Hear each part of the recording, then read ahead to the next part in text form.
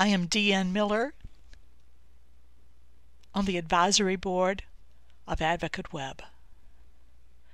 Not only does Nobuko Oyabu's story show courage, it illustrates the importance of Advocate Web's presence and the power of networking.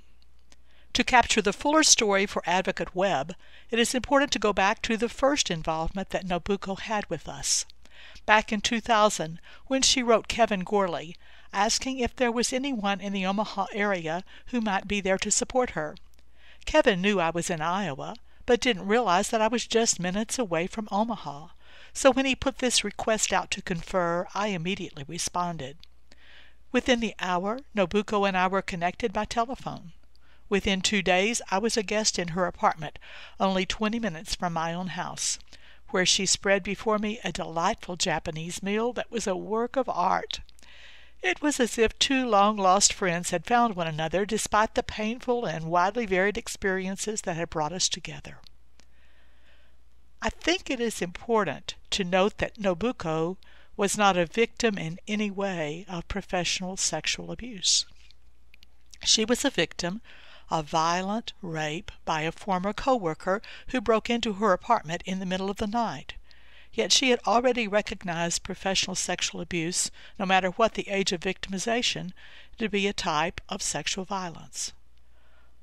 Over the delicious spread my hostess had prepared for me, we were soon sharing many interests that would have linked us, even without our past victimization. We both have a world view due to our international experience. We both are daughters of ministers and felt that this had instilled in each of us a strong passion from an early age to reach out to others beyond ourselves. And now we shared a specific passion to use our professional skills to reach out to victims of sexual violence or abuse, regardless of the form that the abuse had taken. We had some big differences that were significant back then. I was old enough to be Nobuko's mother. The fact that she had not yet been able to sit down with her own mother since the rape, due to the ocean that separated them, seemed to affect the emotional climate of our conversation. In fact, her mother did not know of her assault, even though the perpetrator had already been prosecuted.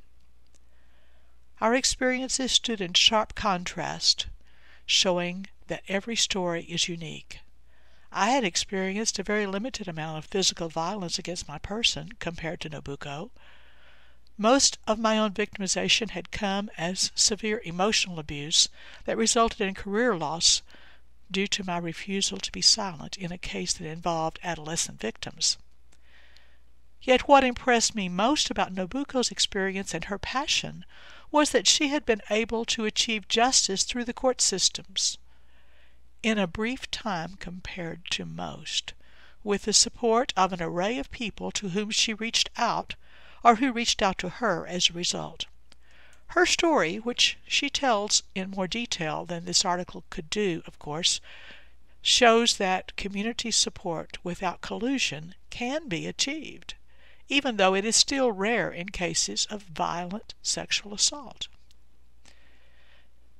During our after dinner conversation, the statement that stood out and continued to ring loudest in my ears was that Nobuko's desire to reach out was magnified because, as she said, I got justice, and now I want to do something to help give a sense of justice to others who have not.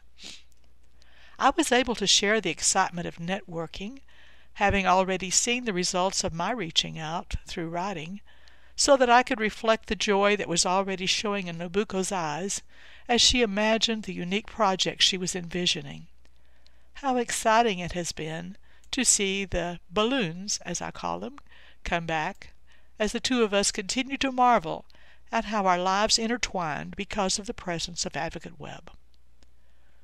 What a joy it was in the next few years to walk beside Nobuko and to see her flying off to meet people. Some people I knew only through email, with many others that she continued to find on her own. Then to hear of her book being published with some of the story of our meeting contained in it, in a language I cannot even read. And now, as she translates that book into English so that hopefully all of us can read it someday. Nobuko's success shows the power that comes when one person realizes that her experience isn't just about her. That's what allowed her to reach out to Advocate Web and in turn to go on networking and helping to tell others' stories.